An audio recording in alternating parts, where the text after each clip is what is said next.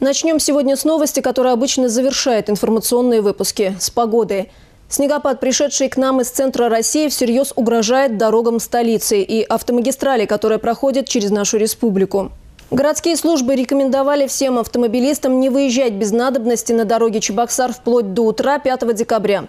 А руководителям дорожных предприятий и управляющих компаний максимально эффективно организовывать работы по расчистке улиц, тротуаров и пешеходных дорожек от снега и гололеда. Очистка города от снега на контроле у заместителя главы администрации Чебоксар по вопросам ЖКХ Германа Александрова. Сегодня он призвал руководителей оперативно проводить все работы. О смене погоды коммунальщики были предупреждены. По словам Германа Александрова, исполнительская дисциплина некоторых предприятий ЖКХ и управляющих организаций, отвечающих за очистку от снега, пока оставляет желать лучшего – Перед коммунальщиками поставлена задача – очистить от снега до 7 утра все магистральные дороги, бордюры, тротуары, ведущие к остановкам и сами остановки. Сегодня с утра на улице Чебоксар уже выехали пескоразбрасыватели. Дороги обрабатывались песчано-соляной смесью в два этапа и по утвержденным маршрутам. Всего днем на магистральных дорогах работали 68 единиц техники и 4 бригады дорожных рабочих – 104 человека. А через несколько минут в 8 часов вечера на улице столицы выйдет ночная смена. 40 рабочих и 50 единиц техники продолжат ликвидировать последствия дневного снегопада. Условия у них будут не самые благоприятные. При нулевой температуре возможен ледяной дождь, гололед. Ветер восточный с переходом на южный до 9 метров в секунду, с порывами до 17.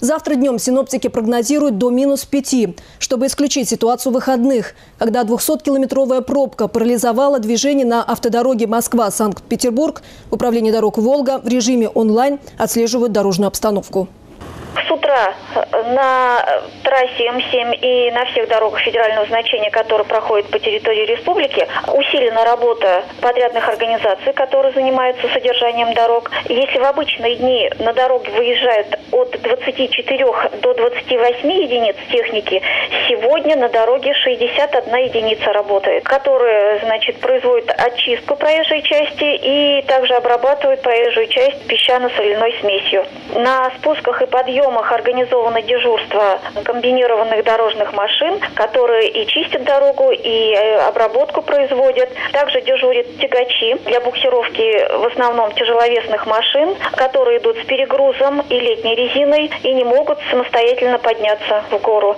Ситуация в режиме реального времени отслеживается Центром управления производством. Задействована здесь информация получается трех метеостанций, которые расположены в Москокосах, Хыркосах, Цивильске. С девяти видеокамер на шести участках автодороги М7 «Волга». Это Сурский подъем, э, Москокосы, Хыркосы, Кугеси, Цивильск и Тюменский подъем.